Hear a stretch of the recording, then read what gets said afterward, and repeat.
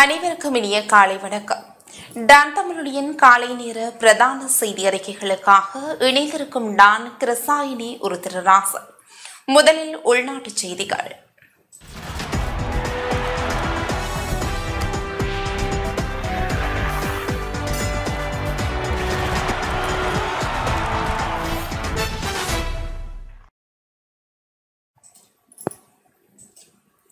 புதிய வருடத்தின் நாடாளுமன்ற அமர்வை ஜனவரி ஐந்தாம் திகதி நடத்துவதற்கு தீர்மானிக்கப்பட்டுள்ளது.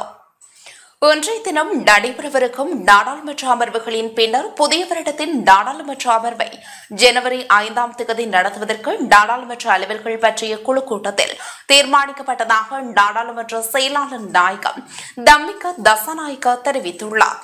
பிரதி சபாநாயகர் அஜித் ராஜபக்ச தலைமையில் நேற்று நடைபெற்ற நாடாளுமன்ற அலுவல்கள் பற்றிய குழு கூட்டத்திலேயே இந்த தீர்மானம் எடுக்கப்பட்டது. இதற்கமைய அன்றைய தினம் முற்பகல் ஒன்பது முப்பது மணிக்கு நாடாளுமன்றம் கூடவிருப்பதுடன் முற்பகல் ஒன்பது முப்பது மணி முதல் முற்பகல் பத்து முப்பது மணி வரையான நேரம் வாய்மூல விடைக்கான கேள்விகளுக்காக ஒதுக்கப்பட்டுள்ளது. இதனைத் தொடர்ந்து முற்பகல் பத்து முப்பது மணி முதல் பிற்பகல் ஐந்து மணி வரையான காலப்பகுதி புனர்வாழ்வு பணியக சட்டமூலம் மற்றும் குத்தகைக்கு கொடுக்கப்பட வனவுகள் வளவுகளின் உடைமைகள் மேலப்பெறல் சட்டமூலம் ஆகியவற்றின் இரண்டாவது மதிப்பீடு மீதான விவாதங்களை நடத்துவதற்கும் தீர்மானிக்கப்பட்டதாக செயலாளர் நாயகம் தெரிவித்தார். இதன் பின்னர் பிற்பகல் ஐந்து மணி முதல் ஐந்து முப்பது மணி வரை அரசாங்கத்தினால் கொண்டு வரப்படும் ஒத்திவைப்பு வேளையின் போதான பிரேரணை மீதான விவாதம் நடைபெறவுள்ளது. அதேவேளை முன்னர் தீர்மானிக்கப்பட்டதற்கமைய இன்றைய தினம் முற்பகல் ஒன்பது முப்பது மணி முதல் பிற்பகல் ஐந்து முப்பது மணி வரை வாய்மூல விடைக்கான கேள்விகளுக்காக நேரம் ஒதுக்கப்பட உள்ளது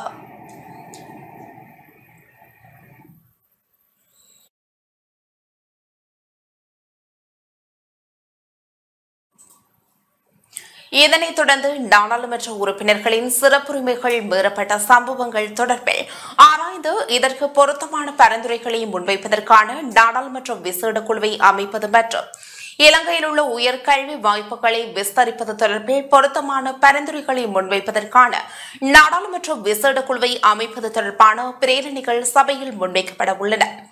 துறைசார் மேற்பார்வை குழுக்களுக்கு இளைஞர் பிரதிநிதித்துவத்தை தெரிவு செய்வது தொடர்பிலும் இங்கு கலந்துரையாடப்பட்டது. துறைசார் மேற்பார்வை குழுக்களுடன் இணைந்து செயற்படுவதற்கு ஆர்வமாக உள்ள அந்தந்த துறைகளின் நிபுணத்துவம் பெற்ற இளைஞர்கள் தொடர்பான தகவல் வங்கியொன்றை தயாரிக்க எதிர்பார்த்திருப்பதாக செயலாளர் நாயகம் தெரிவித்தார். இதற்காக இளைஞர் சமூகத்திலிருந்து விண்ணப்பங்களை கோருவதற்கு மூன்று மொழியிலும் பத்திரிகை விளம்பரங்களை பிரசுரிப்பதற்கு பாராளுமன்ற அலுவல்கள் பற்றிய குழு இணக்கத்தை தெரிவித்ததாக செயலாளர் நாயகம் குறிப்பிட்டார். துறைசார் மேற்பார்வை குழுக்கள் அமைக்கப்பட்ட பின்னர் குறித்த தகவல் வங்கியிலிருந்து இளைஞர்களை அழைப்பதற்கு எதிர்பார்த்திருப்பதாக அவர் மேலும் தெரிவித்தார்.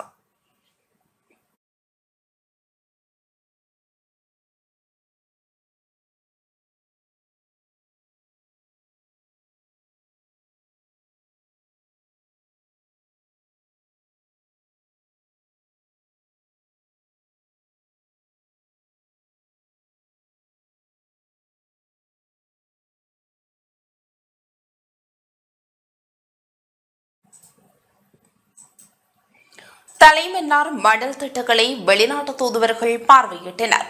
வியட்நாம் இந்தோனேசியா மற்றும் தாய்லாந்து தூதுவர்கள் மன்னார் மாவட்டத்திற்கு நேற்று மாலை விஜயம் செய்திருந்தனர். மன்னாரிலிருந்து தலைமன்னார் கடற்படை முகாமுக்கு சென்ற தூதுவர்களை கடற்படையினர் தமது விசேட படகுகளின் மூலம் தலைமன்னார் மணல் தேடிகளை பார்வையிட அழைத்து சென்றனர்.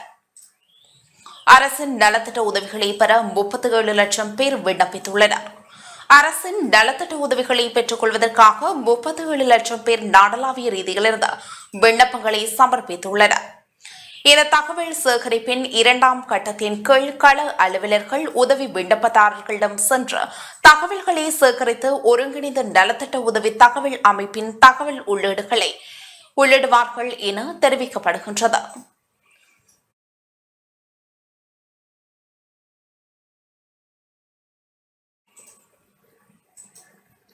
யாழ்ப்பாணம் உயரப்புளம் பகுதியில் திருட்டு சம்பவத்துடன் தொடர்புடைய நபர் கைது செய்யப்பட்டுள்ளார் யாழ்ப்பாணம் உயரப்புளம் பகுதியில் கடந்த சில மாதங்களுக்கு முன்னர் இடம்பெற்ற திருட்டு சம்பவம் தொடர்பில் இளவாளி போலீஸ் புலனாய்வு பிரிவினருக்கு கிடைத்த தகவலுக்கு அமைய இருபத்தி ஐந்து வயதுடைய சந்தேக நபர் ஒருவர் கைது செய்யப்பட்டுள்ளார் சந்தேக நபரை கைது செய்யும் போது அவரது உடைமையிலிருந்து ஒரு கிராம் கஞ்சா மற்றும் திருடப்பட்ட தங்க நகைகளும் மீட்கப்பட்டுள்ளன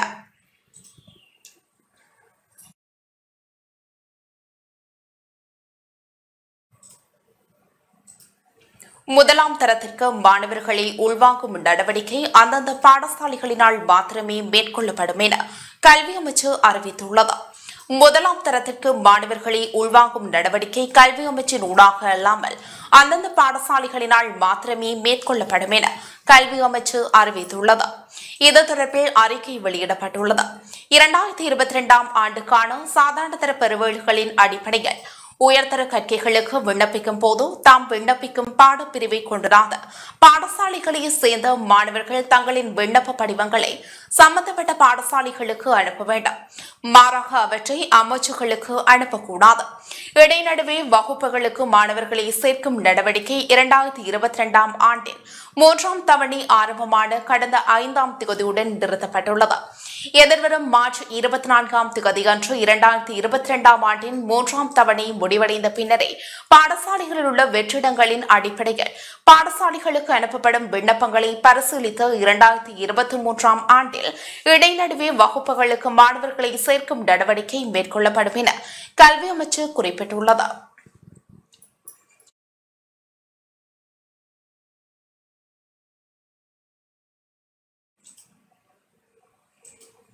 யாழ்ப்பாணம் சுதுமலை பகுதியில் இரண்டாயிரத்து நானூறு கிலோ எடையுடைய மஞ்சள் பொதிகளுடன் இருவர் கைது செய்யப்பட்டுள்ளனர். யாழ்ப்பாணம் மாணிப்பாய் போலீஸ் பிரிவிற்குட்பட்ட சுதுமலை பகுதியில் இரண்டாயிரத்து நானூறு கிலோ எடையுள்ள மஞ்சள் பொதிகளுடன் சந்தேக நபர்கள் இருவர் கைது செய்யப்பட்டுள்ளனர். மானிப்பாய் போலீசார் முன்னெடுத்த சுற்றிவளைப்பு நடவடிக்கையின் போது கைது நடவடிக்கை முன்னெடுக்கப்பட்டது. சந்தேக நபர்கள் இருவரும் பட்டாரக வாகனத்தில் மஞ்சளை கடத்து சென்ற வேளை இவ்வாறு கைது செய்யப்பட்டுள்ளதுடன் இருவரும் மானிப்பாய் சேர்ந்தவர்கள் சேர்ந்தவர்களாவார். மீட்கப்பட்ட சான்று பொருட்களுடன் சந்தேக நபர்கள் மெல்லாகம் நீதிமன்றத்தில் முற்படுத்தப்படுவதற்கான நடவடிக்கைகளை மானிப்பாய் போலீசார் மேற்கொண்டு வருகின்றனர்.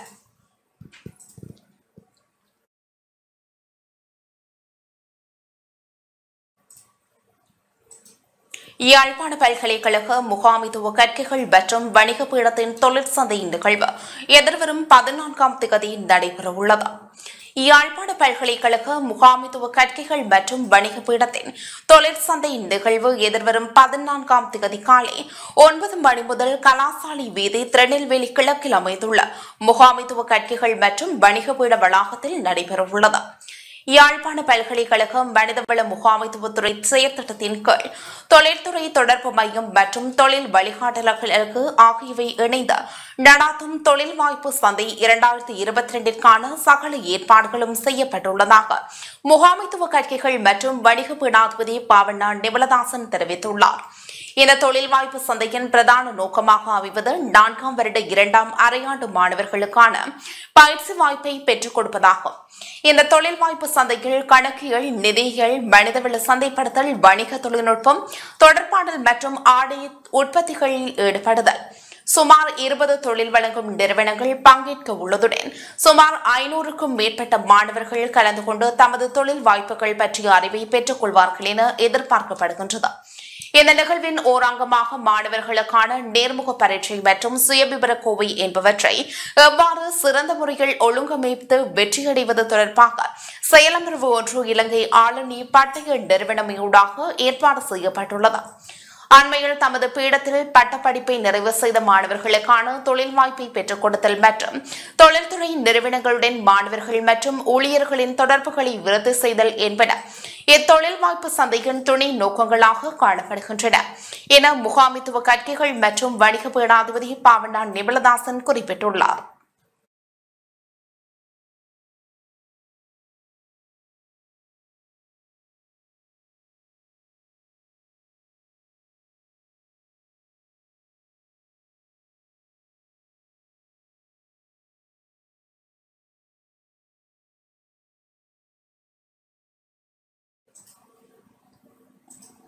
யாழ்ப்பாணம் வெற்றிலைக்கணி பகுதியில் வெடிபொருட்கள் கண்டுபிடிக்கப்பட்டன. யாழ்ப்பாணம் வெற்றிலைக்கணி ஜே நானூற்று முப்பத்தி ரெண்டு கிராம சேவையாளர் பிரிவில் வெடிபொருட்கள் கண்டுபிடிக்கப்பட்டன. நேற்று காலை ஆறு முப்பது மணியளவில் தடாகம் ஒன்றிற்கு அருகில் வெடிபொருட்கள் இருப்பதை அவதானித்த மீனவர் ஒருவர் வெற்றிலைக்கணி ராணுவ அதிகாரிகளுக்கு தெரியப்படுத்தினார். அங்கு அறுபது மில்லிமீட்டர் ரக மோட்டார் குண்டுகள் பத்து கண்டுபிடிக்கப்பட்டதுடன் அவற்றை மீட்பதற்கான நடவடிக்கை முன்னெடுக்கப்பட்டது.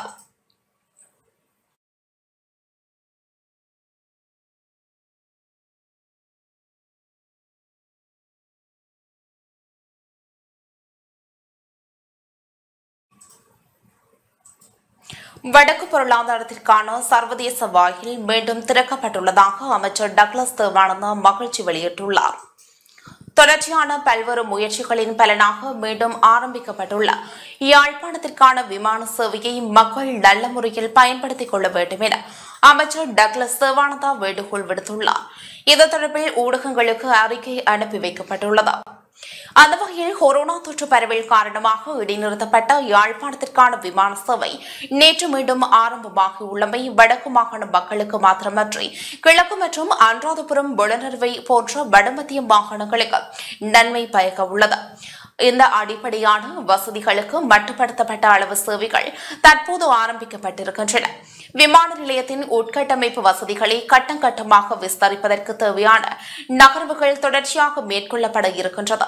இது தொடர்பாக இந்திய அரசாங்கத்துடன் கலந்துரையாடுவதுடன் அமைச்சரவையிலும் பிரஸ்தாபிக்க உள்ளேன். இந்த நிலையில் மக்கள் சரியான முறையில் இதனை பார்வையிடுவார்களாயின் எதிர்காலத்தில் இந்தியாவிற்கான சேவைகள் விரிவுபடுத்தப்படும் என்பதுடன் ஏனைய நாடுகளிலிருந்தும் சேவைகளையும் முன்னெடுப்பதற்கு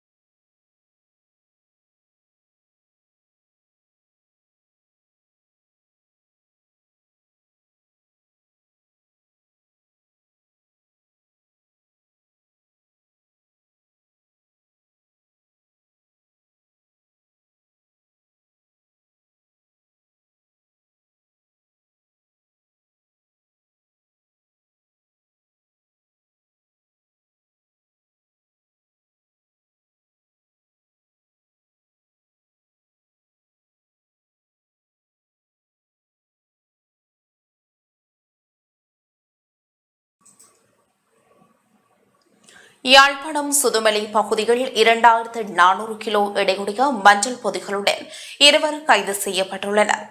யாழ்ப்பாணம் மாணிப்பாய் போலீஸ் பிரிவிற்குட்பட்ட சுதுமலை பகுதியில் இரண்டாயிரத்து நானூறு கிலோ எடையுடைய மஞ்சள் பொதிகளுடன் சந்தேக நபர்கள் இருவர் கைது செய்யப்பட்டுள்ளனர். மாணிப்பாய் போலீசார் முன்னெடுத்த சுற்றிவளைப்பு நடவடிக்கையின் போது கைது நடவடிக்கை முன்னெடுக்கப்பட்டது.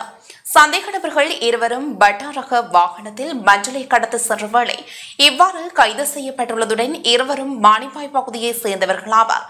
மீட்கப்பட்ட சான்று பொருட்களுடன் சந்தேக நபர்களை மல்லாகம் நீதிமன்றத்தில் முற்படுத்துவதற்கான நடவடிக்கைகளை மானிப்பாய் போலீசார் மேற்கொண்டு வருகின்றனர்.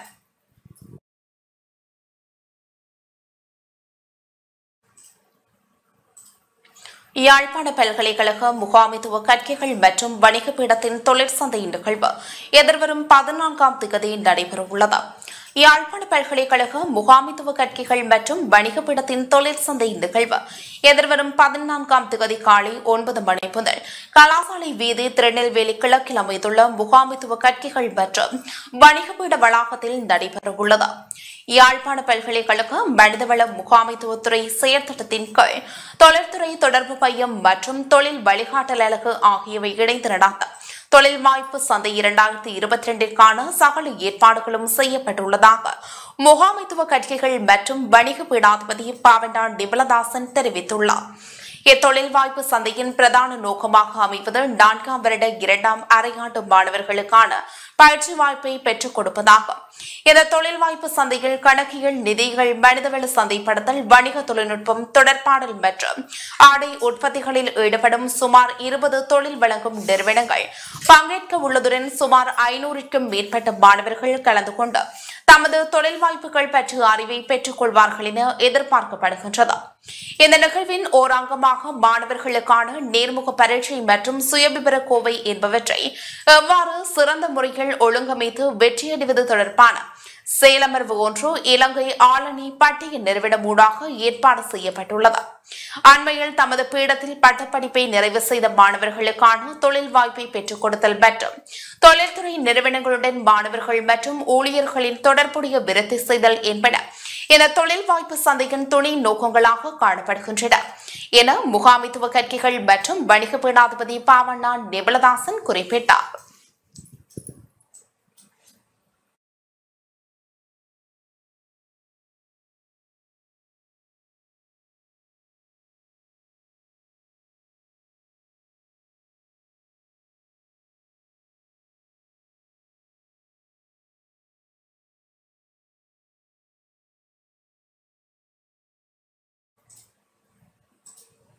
வடக்கு பொருளாதாரத்திற்கான சர்வதேச வாயில் மீண்டும் திறக்கப்பட்டுள்ளதாக அமைச்சர் டக்ளஸ் தேவானந்தா மகிழ்ச்சி வெளியிட்டுள்ளார். தொடர்ச்சியான பல்வேறு முயற்சிகளின் பலனாக மீண்டும் ஆரம்பிக்கப்பட்டுள்ள யாழ்ப்பாணத்திற்கான விமான சேவையை மக்கள் நல்ல முறையில் பயன்படுத்திக் கொள்ள வேண்டும் என அமைச்சர் டக்ளஸ் தேவானந்தா வேண்டுகோள் விடுத்துள்ளார். இது தொடர்பில் ஊடகங்களுக்கு அறிக்கை அனுப்பி வைத்துள்ளார்.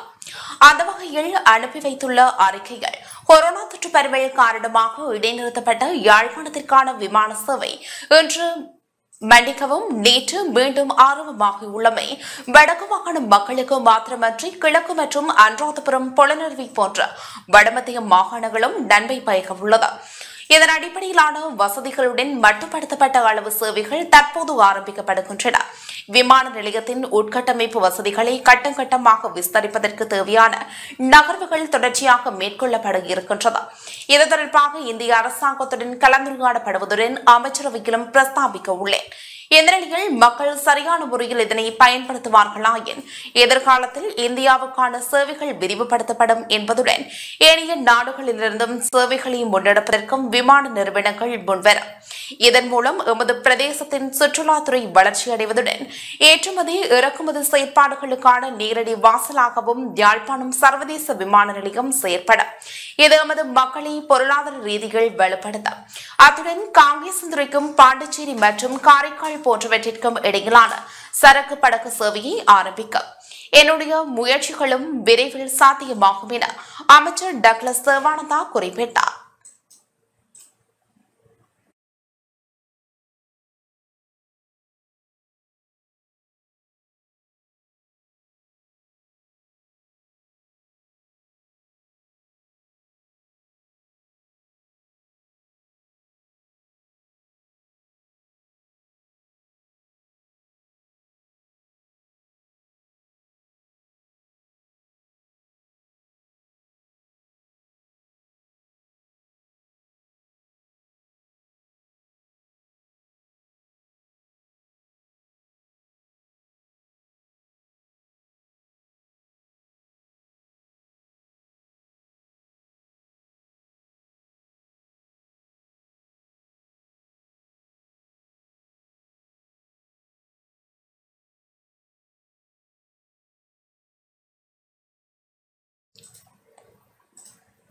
தொடர்பென உலகச் செய்திகள்.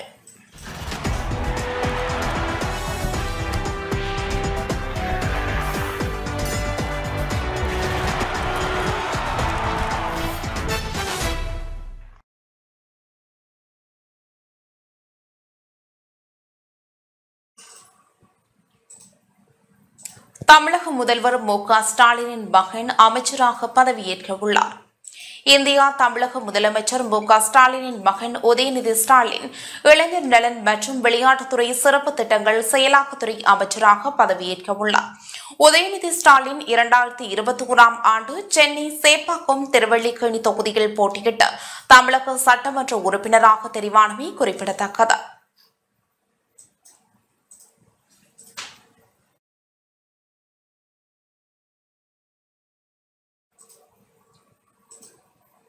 பெருஜனாதிபதி பதவி நீக்கம் செய்யப்பட்டமைக்கு எதிரான போராட்டத்தில் இருவர் கொலை செய்யப்பட்டுள்ளனர். பெருஜனாதிபதி பெட்ரோ காஸ்டிலோ பதவி நீக்கம் செய்யப்பட்டமைக்கு எதிர்ப்பு தெரிவித்தார். முன்னெடுக்கப்பட்டு வரும் போராட்டங்களில் இதுவரை இரண்டு பேர் கொலை செய்யப்பட்டுள்ளனர். நாட்டின் தெற்கில் உள்ள ஆண்ட்ரா கேகாஸ்னா விமான நிலையத்தில் ஐம்பது போலீஸ் அதிகாரிகள் மற்றும் தொழிலாளர்கள் ஆர்ப்பாட்டக்காரர்களால் சூழப்பட்டதை அடுத்து விமான நிலையம் மூடப்பட்டது. பெருவின் விமான போக்குவரத்து அமைப்பான கார்பக் போக்குவரத்து அமைச்சின் ஒரு பகுதியான அண்டா ஹேலாஸ் விமான நிலையம் சனிக்கிழமை பிற்பகல் முதல் கடுமையாக பாதிக்கப்பட்டுள்ளது. சனிக்கிழமை அன்று அண்டா கேக்ராஸில் மூவாயிரம் பேர் ஆர்ப்பாட்டத்தில் ஈடுபட்டனர்.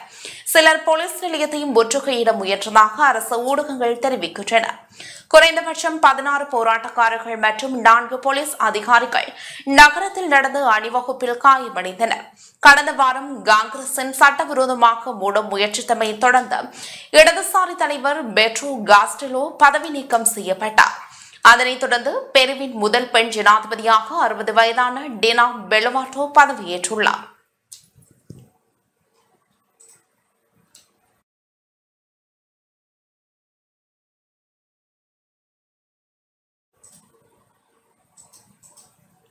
இத்தாலியின் புதிய பிரதமரின் நண்பர் உட்பட மூன்று பெண்கள் துப்பாக்கிச் சூட்டில் உயிரிழந்துள்ளனர். இத்தாலியின் புதிய பிரதமரின் நண்பர் உட்பட மூன்று பெண்கள் ரோம் நகரில் உள்ள ஹோட்டல் ஒன்றில் நடத்தப்பட்ட துப்பாக்கிச் சூட்டில் உயிரிழந்துள்ள நிலையில் நான்கு பேர் காயமடைந்துள்ளனர். உள்ளூர் தொகுதியில் குடியிருப்போர் குழுவின் ஒரு பகுதியாக குழுவின் துணைத் தலைவரான லூசியானா சியோர்பா உள்ளிட்ட குழுவினர் பிடன் மாவட்டத்தில் உள்ள ஹோட்டலில் சந்தித்துக் கொண்ட போதே இந்த தாக்குதல் சம்பவம் இடம்பெற்றதாக இத்தாலியன் லா ட்ரிப்ளிகா செய்தித்தாள் வெளியிட்டுள்ளது. காயமடைந்தவர்களில் இரண்டு பெண்கள் மற்றும் இரண்டு ஆண்கள் உள்ளடங்கும் நிலையில் ஒருவரின் நிலை கவலைக்கிடமாக இருப்பதாக அதிகாரிகள் குறிப்பிட்டுள்ளனர். இந்த துப்பாக்கிச் சூட்டை வன்முறையின் கடுமையான அத்தியாயம் என ரோம் நகர முதல்வர் ராபர்டோ குவால்டியோரே விவரித்தார். இந்த தாக்குதல் சம்பவம் தொடர்பாக ஐம்பத்தி ஏழு வயதுடைய சந்தேக நபர் கைது செய்யப்பட்டுள்ளார். சந்தேக நபருக்கு அடுக்குமாடி குடியிருப்பின் குடியிருப்பாளர் குழுவுக்கும் சில காலமாக கடுமையான தகராறு ஏற்பட்டதாக தகவல் வெளியாகியுள்ளது. பிரதமர் ஜிஜோஜிவா மெலோனி கொல்லப்பட்ட பெண்களின் ஒருவரை தனது தோழி நிகோலிட்டா கொலோசி என பெயரிட்டார். இத்தாலியின் தீவிர வலதுசாரி பிரதாஸ் ஆப்ஸ் இத்தாலி கட்சியின் தலைவராக ஜியோர்ஜியா மெலோனி கடந்த அக்டோபர் நாட்டில் முதல் பெண் பிரதமராக தெரிவு செய்யப்பட்டார்.